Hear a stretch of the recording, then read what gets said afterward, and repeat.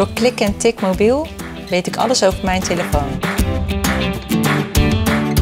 Ik ben heel blij dat ik eh, berichten kan versturen. Daar ben ik apen trots op. Hoe de wifi werkt en hoe je foto's kunt versturen. Gewoon van mijn galerie naar mijn WhatsApp.